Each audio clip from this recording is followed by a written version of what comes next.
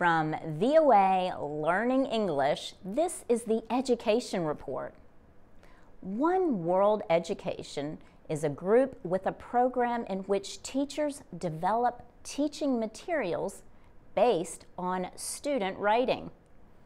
The students are in middle and high school and write essays about cultural and global issues.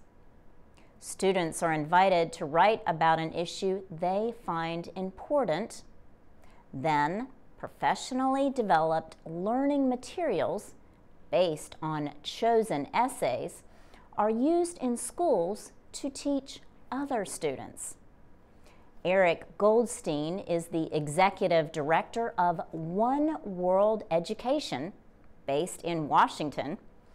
He says the nonprofit group has worked with over 1,500 student writers. He says 350 teachers use the One World curriculum. He says the essays can serve as a writing and learning guide for thousands of students. Mr. Goldstein is a former classroom teacher himself. He and another teacher began forming plans for One World Education in 2006. The group publishes a study unit each month from August through May. Each unit of the curriculum starts with an essay called a One World Reflection. The subjects have ranged from single parenthood to protecting rainforests to exploring Arab cultures, says Mr. Goldstein.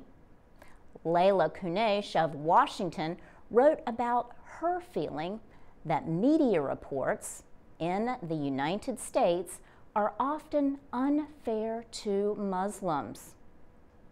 A learning activity based on her reflection called for students to collect examples of media stories and discuss whether or not that was true.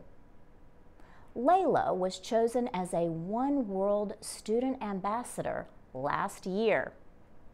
12 students are chosen yearly. Their reflections are published on the group's website with learning activities and reading and writing aids. For VOA Learning English, I'm Laurel Bowman.